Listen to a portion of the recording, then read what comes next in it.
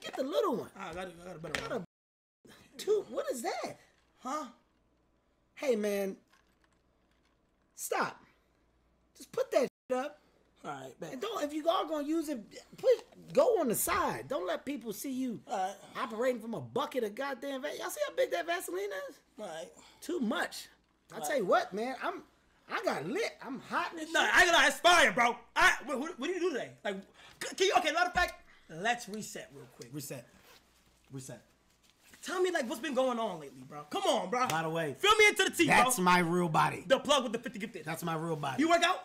Do I work out? Me too. Does an ant have legs? Do Yeah. I work out? All right, that's your answer. What does my day consist of, man? Well, you know I'm out here filming.